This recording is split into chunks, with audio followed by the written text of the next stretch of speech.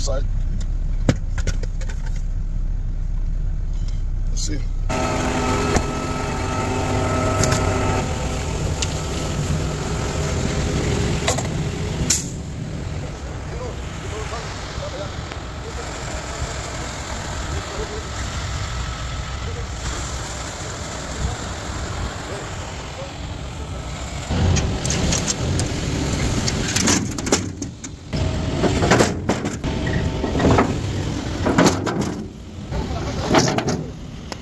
10 gallons of oil.